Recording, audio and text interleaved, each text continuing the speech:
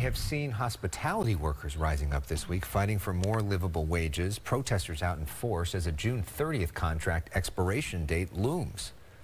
Joining us to talk more about this is California Congresswoman Sydney Kamlager Dove. Thank you so much, Congresswoman, for being with us tonight.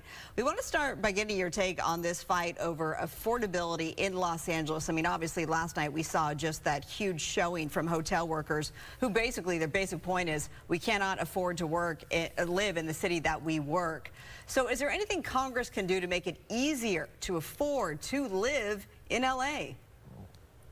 I think last year's Congress uh, did quite a bit. At the end of the day, it is about the economy and making sure that folks can afford to live in the cities that they love.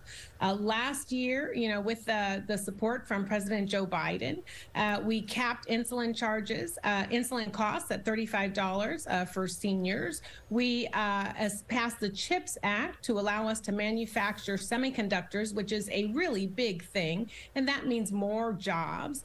we've worked work to save uh, veterans uh, benefits and also to save the ACA, which continues to be under attack, and Medicare and Medicaid. And we also passed funding to allow us to replace lead pipes so that folks don't have to drink dirty water all of that equates to jobs. You know, under Joe Biden, we've created 13 million jobs and we have record unemployment. Uh, so those are good things. Um, it still might mean that folks are feeling the crush of, of higher wages and what it, I mean, higher costs uh, to live. And we are hoping to push more of these kinds of things through this Congress uh, rather than having to fight about censoring Adam Schiff or getting George Santos out of Congress. Um, I hope that we can uh, pass something like a federal universal basic income because working families just need a little extra a few extra dollars to help them you know get through the month. We have to make sure that we are putting families first in all of our discussions in congress.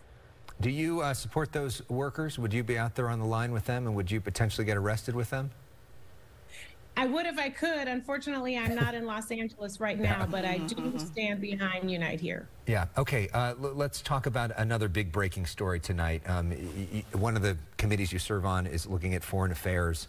Um, in Russia right now, there is a crisis situation uh, where um, a opposition leader to Vladimir Putin is essentially saying that he's got support, 25,000 troops behind him, and, and reports of a coup attempt you have a lot better intelligence on this than we do. What do we know about what's happening in the most simple terms for our viewers that may not be Russia experts? And what's your reaction right. to it?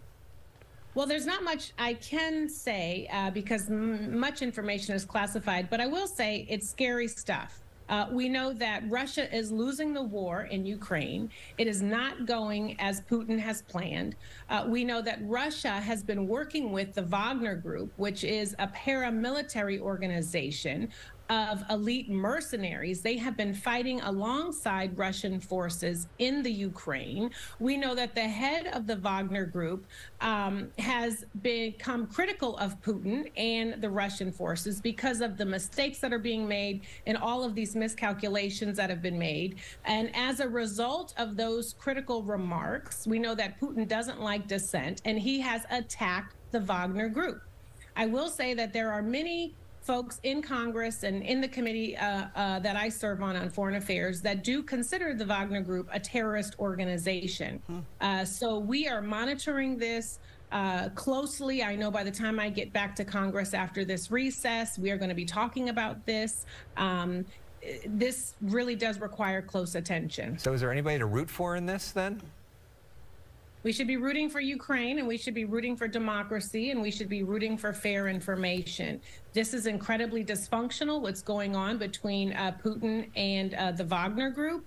And, you know, chaos becomes quite dangerous. Would you describe this as an attempted coup?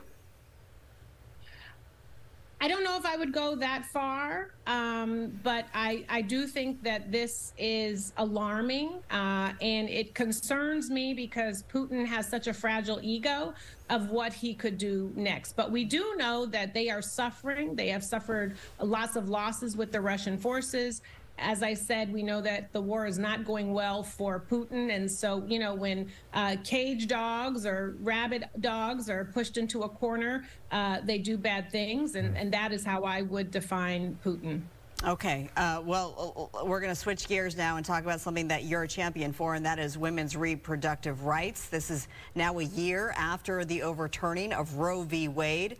What would you say is the biggest difference? Well, we know that uh, one in three women have been impacted as a result of the Dobbs decision. Uh, we know that women are now being criminalized uh, for having abortions, for having stillbirths. Uh, we know that a, a, woman now can be charged with homicide or murder uh, if they suffer a miscarriage or if they try to have an abortion. Uh, and we know that we only need eight Republicans to sign a discharge petition to allow us to debate uh, abortion care, health care on the floor of Congress. Um, we are seeing doctors who are afraid um, to take care of female patients who come to the emergency room who need um, who are having complicated pregnancies and might need an abortion in order to stay alive. Um, we are seeing students who are afraid to go to certain schools in certain states because they no longer have access to abortion care. 14 states have already banned abortions, and 12 states are in the queue to do so. Uh, these are very dangerous times for women. Sydney Kamlager Dove, thanks so much for joining us, uh, talking about some really big issues right there. Um, we appreciate your perspective and hope to hear from you again soon.